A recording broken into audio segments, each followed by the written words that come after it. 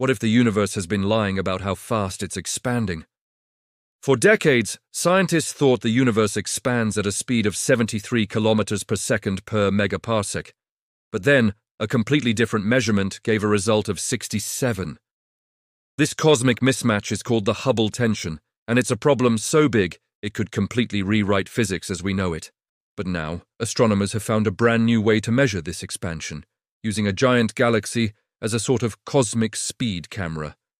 You see, light from extremely distant objects, like quasars, gets bent as it passes around these massive galaxies.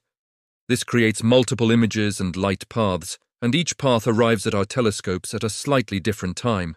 By precisely tracking these tiny time delays, scientists can calculate the universe's expansion rate without relying on old methods like supernovas or complex distance ladders.